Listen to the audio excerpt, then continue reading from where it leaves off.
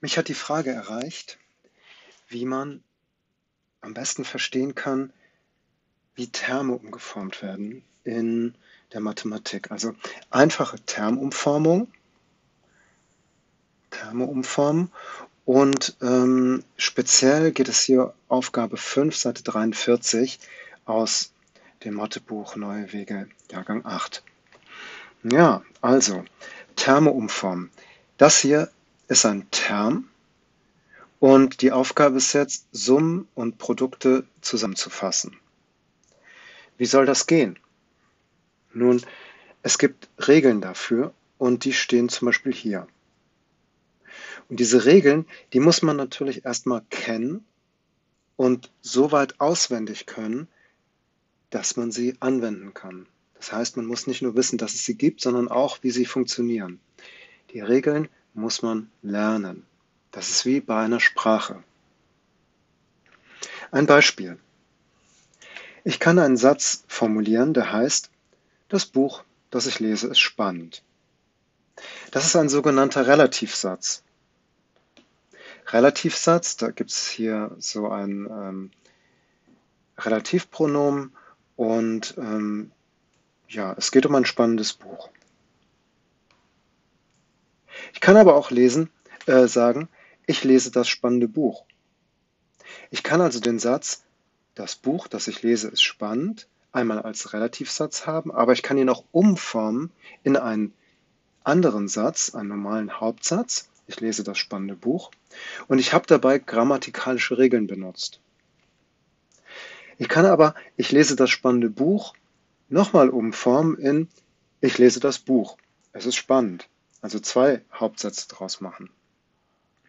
Es gibt in der Sprache also Regeln, wie man den gleichen Inhalt unterschiedlich ausdrücken kann. Und natürlich gibt es, also je nachdem, welchen Satz ich auswähle, ist es so ein bisschen eine andere Perspektive oder eine andere Schwerpunktsetzung. Aber letztlich der Inhalt ist, ich lese das Buch, es ist spannend. Die Gesamtheit dieser Regeln wie man mit Sprache umgeht, nennt man Grammatik. Und genauso wie Grammatik die Regeln beschreibt, wie man mit Sprache umgehen kann, so gibt es auch in der Mathematik Regeln, wie man mit Termen umgehen kann. Und genauso wie man Sätze unterschiedlich aufschreiben kann, kann man auch Terme unterschiedlich aufschreiben. Das ist also hier der Hintergrund. Es gibt also keine direkte Anwendung oder so, sondern wir sind hier in der Grammatik der Mathematik. Also wie kann ich mit Regeln bestimmte Inhalte unterschiedlich darstellen? Terme sind ja nichts anderes als Darstellungen von Rechenoperationen oder Anleitungen, wie bestimmte Rechnungen ausgeführt werden. Wenn ich mir jetzt mal die erste Teilaufgabe vornehme, dann habe ich einen Term, der lautet 2b plus 5a Quadrat minus 5a plus b. Ich sehe, es ist eine Summe, ein Summenterm, weil die letzten Operationen, die ich durchführe, sind Plus und Minus. Ich muss also die Regel der Addition und Subtraktion anwenden. Und die heißt, nur gleichartige Terme kann man addieren bzw. subtrahieren. Ich gucke mir also an, welche Terme sind gleichartig. Es gibt hier einen Term mit b und hier gibt es noch einen Term mit b. Diese beiden kann ich zusammenfassen. Dann ist hier ein Term mit a Quadrat und ein Term mit a das sind unterschiedliche Sachen. Wenn a eine Länge ist, ist a Quadrat eine Fläche. Das sind unterschiedliche Terme, die kann ich nicht zusammenfassen. Was passiert also? Ich kann diesen Term zusammenfassen als 2b plus b sind 3b. Ich habe also die beiden b-Terme zusammengefasst. Die restlichen bleiben stehen. Also plus 5a Quadrat minus 5a. Erste Teilaufgabe erledigt. Was muss ich wissen? Nun, die Regel ist gleichartige Terme durch Addition oder Subtraktion zusammenfassen. Es ist also so, als ob ich aus dem Relativsatz einen Aussagesatz gemacht habe. Ich habe grammatische Regeln angewendet. Nächstes Beispiel.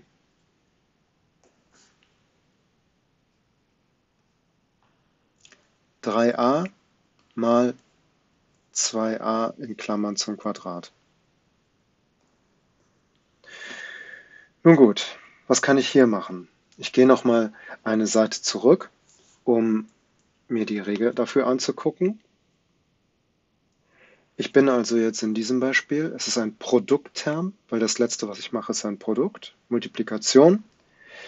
Die Regel heißt, in Produkten mit mehreren Faktoren man beliebig vertauschen, Klammern und mit Potenzschreibweise vereinfachen. Okay, ich kenne diese Regel, ich wende sie an. Ich fange mal mit der Potenzschreibweise an.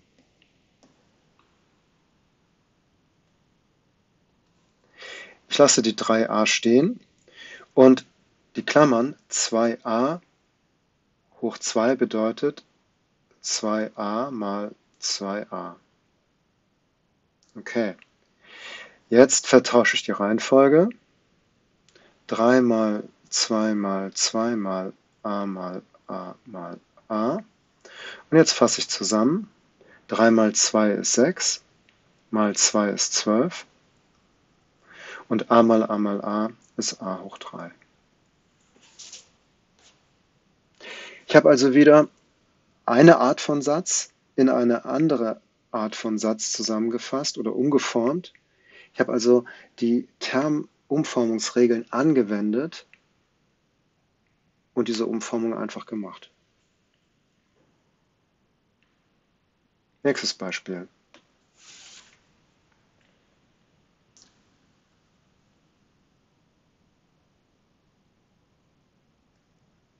Hm, okay.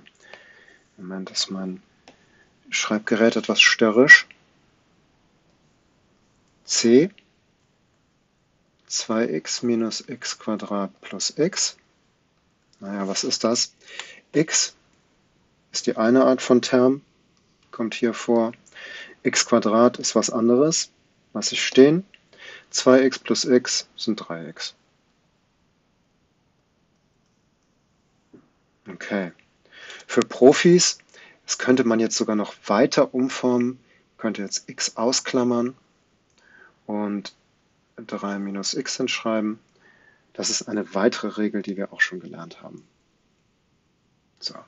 Also alles im Prinzip gleichartige Terme, also äquivalente Terme. Die Terme haben den gleichen Wert, aber sie sind durch Termumformungsregeln unterschiedlich aufgeschrieben. Nächstes Beispiel. Minus xy plus yz plus 4xy minus 2xz. Was ergibt das?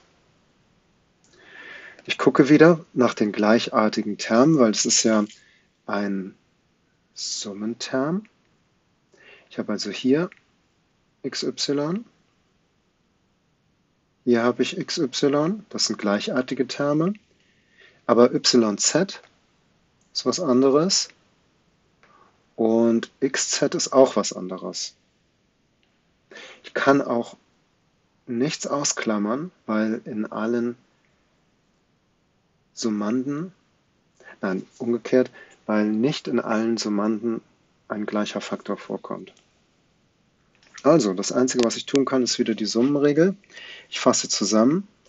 4xy minus 1xy ergibt 3xy. Den Rest lasse ich stehen.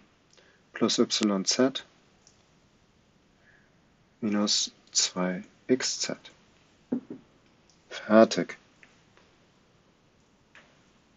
Nächstes Beispiel.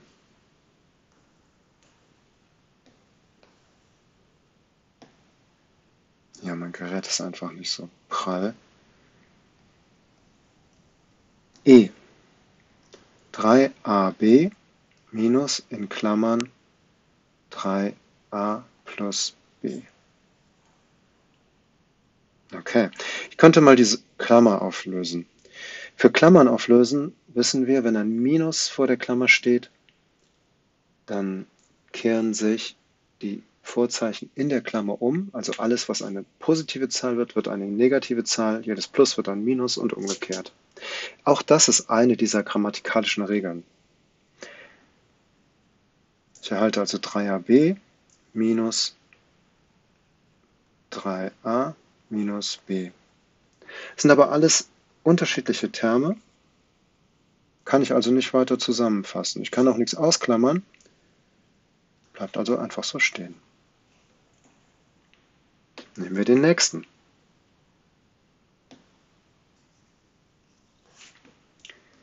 Fünf x mal zwei y minus yx plus xy. Okay. Hier haben wir jetzt eine Summe von verschiedenen Produkttermen. Ich darf hier die Reihenfolge vertauschen. Also mache ich das erstmal. Das sind also 5 mal 2 mal x mal y minus in Klammern x mal y plus x mal y.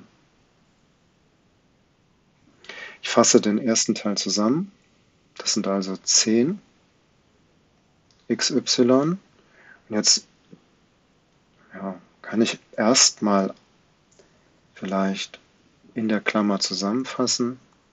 xy plus xy sind 2xy. Und jetzt sehe ich, dass die Klammer eigentlich gar nicht notwendig ist an der Stelle. Ich rechne also 10xy minus 2xy sind 8xy. Ja? Und wir erinnern uns, wenn da nichts steht, dann denkt man sich immer einmal. Fertig. Nächstes Beispiel. 3x mal 1 halb y minus 2y mal minus x. Okay.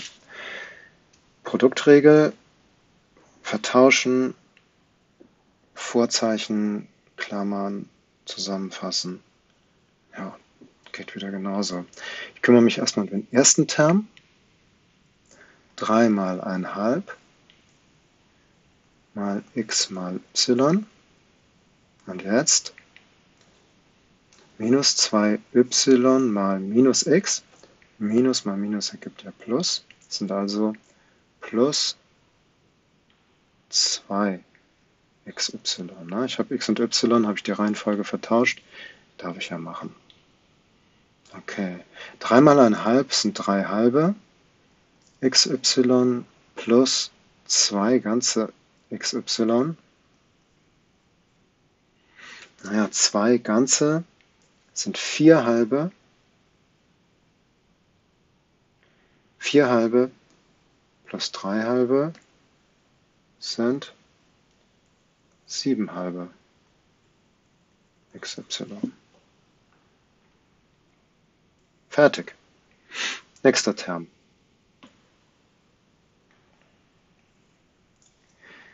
X mal 3xy mal minus 3y. Okay. Was kann ich machen? Ich kann wieder die Reihenfolge vertauschen.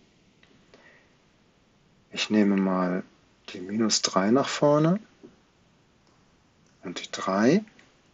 Dann habe ich x mal x und y mal y. Das sind also minus 9. x mal x ist x hoch 2 mal y hoch 2. Oder, naja, minus 9 x hoch 2 y hoch 2. Ja. Okay. Nächste, nächstes Beispiel.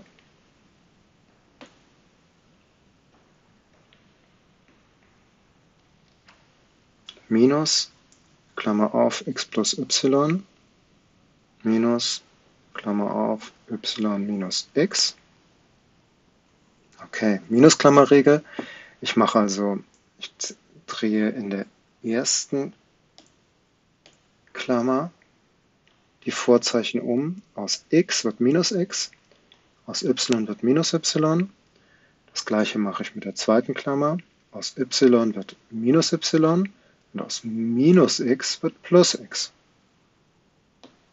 Also x wird minus x, y wird minus y, y wird minus y und minus x wird plus x. Okay. Jetzt wieder gleichartige Terme zusammenfassen. Minus x und x sind gleichartige Terme und y und minus y. Ja, minus y und minus y sind gleichartige Terme. Also minus x plus x ergibt 0 und minus y minus y ist minus 2y. Fertig, Aufgabe erledigt. Ich fasse nochmal zusammen.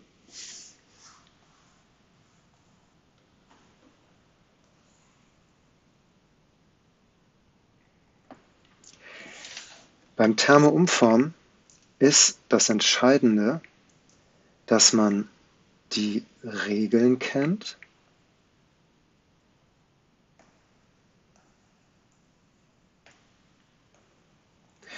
und an Beispielen lernt, wie man sie richtig anwenden kann. Dann muss man sich die verschiedenen Terme angucken und ja, ausprobieren, was man machen kann. Es gibt oft unterschiedliche Wege, wie man Dinge hinschreiben kann.